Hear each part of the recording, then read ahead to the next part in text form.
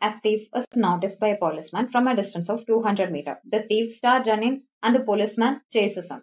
The thief and policeman run at the rate of 10 km and 11 km per hour respectively. Find the distance traveled by the thief before being caught.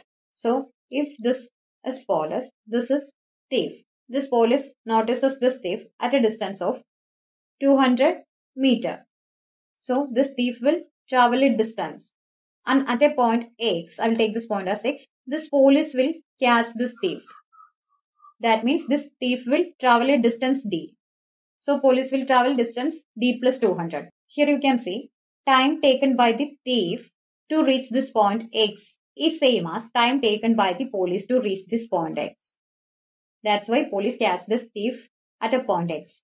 So here time taken by thief is same as time taken by police. That is why time is constant here. So whenever time is constant, distance taken by pole is divided by distance taken by time is same as speed of pole is divided by speed of thief.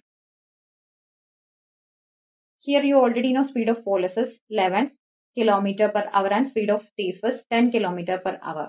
That means distance taken by pole is divided by distance taken by thief is same as 11 by 10. Here difference between 11 part and 10 part is 1 part and difference between distance taken by police and distance taken by thief is 200 meter.